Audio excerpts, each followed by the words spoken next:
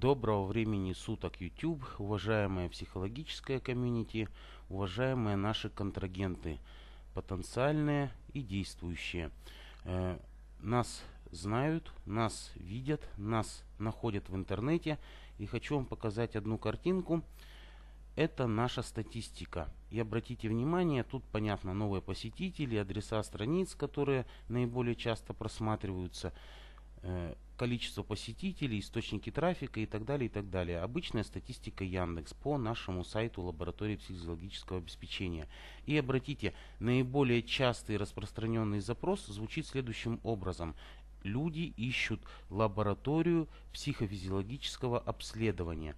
И это повторяется очень-очень часто. То есть люди смотрят, э, забивают в адрес в адресную строку своего браузера фразу «Лаборатория психологического обследования» и хотел бы расставить все точки над «и».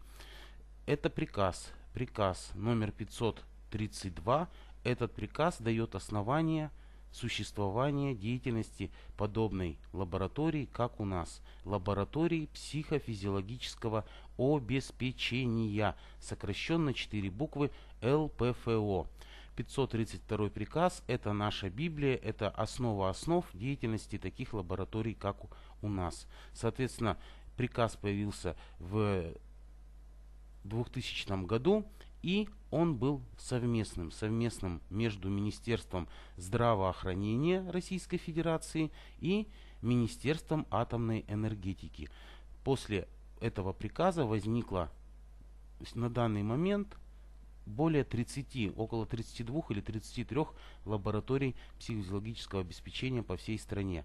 Изначально они были на всех 10 атомных станциях Российской Федерации, а после этого приказа дал, он дал жизнь э, еще более чем 20 таким лабораториям. Всего в Российской Федерации на данный момент, если следовать этому совместному приказу двух министерств, должно быть более 500 лабораторий психологического обеспечения. Где-то они созданы, где-то они не созданы, но по последней информации их всего в России 32, а должно быть 32 таких лабораторий, а должно быть более 500. То есть они должны создаваться при предприятии, которое имеет в своем составе какие-то дела, работы с так называемыми опасными производствами. И, соответственно, люди, которые на этих производствах работают, они должны проходить ежегодно, как это диктует 233 приказ, ежегодное, в скобочках, один раз в год, прямо так в этом приказе написано в 233, диктует прохождение ежегодных физиологических обследований.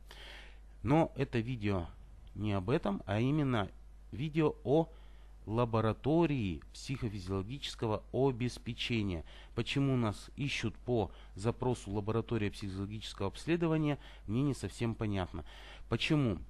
Обратите внимание, такой вот титульный лист этого приказа. Министры, министры, замминистров, руководители различных департамент, департаментов со стороны Минатома.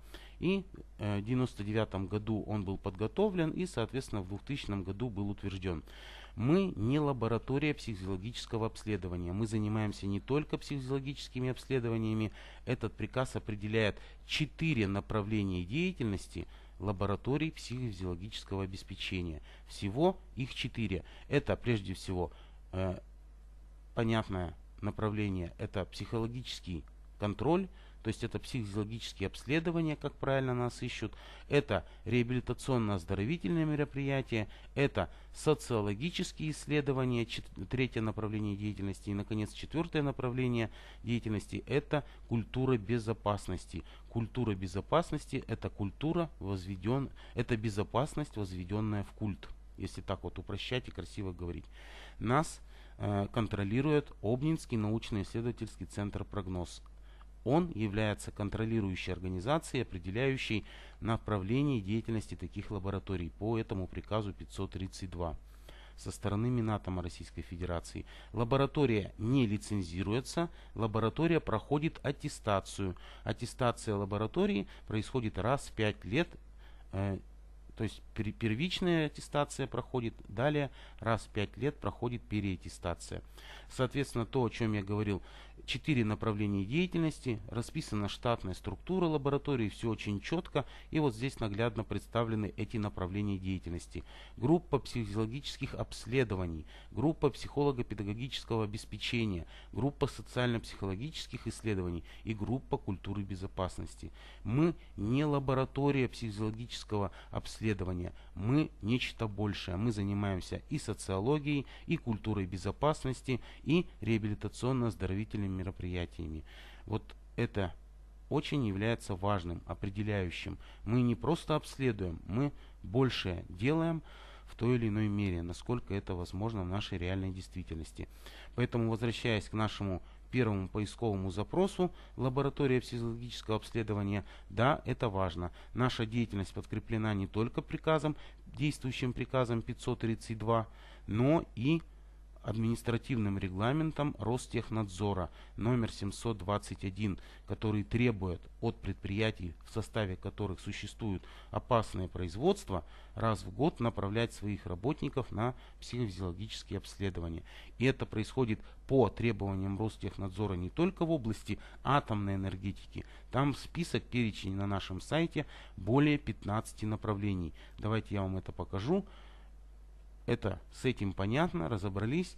А вот, соответственно, страница номер один на нашем сайте, она определяет объекты предприятия, те, которые должны в рамках контролирующей деятельности Ростехнадзора, имея в своей структуре, в своем составе лиц опасных профессий, потенциально опасное производство, проходить психофизиологические обследования. Жизнь не стоит на месте, да, в основе своей лежит значит, атомная отрасль, но Ростехнадзор прошло 16 лет с момента 532 приказа, который до сих пор действует, еще раз подчеркну. Но, тем не менее, Ростехнадзор расширил этот список этих предприятий. Соответственно, мы с вами можем видеть вот выделенные мной предприятия, объекты атомной энергетики, нефтегазодобывающей промышленности, газоснабжения, транспортирования опасных веществ, опасных грузов, да, то есть и ядерных отходов, и каких-либо еще там, и так далее, и так далее, и так далее. И объекты, это все официально прописано в регламенте Ростехнадзора 721. Это объекты угольной, горнорудной и нерудной промышленности, объекты химической и нефтехимической промышленности, объекты металлургической и коксохимической промышленности, объекты хранения и переработки растительного сырья, объекты предприятий по производству и переработке минеральных удобрений, производство и хранение взрывчатых материалов промышленного назначения, объекты с подъемными сооружениями, объекты проектирования, изготовления, реконструкции, диагностики, цинцтерн, бочек, барокамер, работающих под избыточным давлением, объекты проектирования, изготовления, монтажа, испытания, эксплуатации, ремонта, реконструкции, консервации, ликвидации стационарных компрессорных установок и производств и так далее. В общей сложности, вот обратите внимание, 721 административный регламент Ростехнадзора определяет 17 направлений контроля. Всего Ростехнадзор контролирует данные отрасли Э, промышленности, деятельности человека в каких-то опасных, потенциально опасных условиях. Да, в основе лежит значит, ядерно-топливное производство, сборка-разборка ядерных боеприпасов, атомные станции и ряд других деятельностей в области атомной энергетики. Да, такие лаборатории созданы и появилось вот это словосочетание ЛПФО, аббревиатура вернее, в рамках атомной деятельности. Но сейчас Ростехнадзор требует уже нечто, нечто большее в этом вопросе. Мы лаборатория психофизиологического обеспечения, не только обследования. На этом все. Благодарю вас за внимание и удачи вам!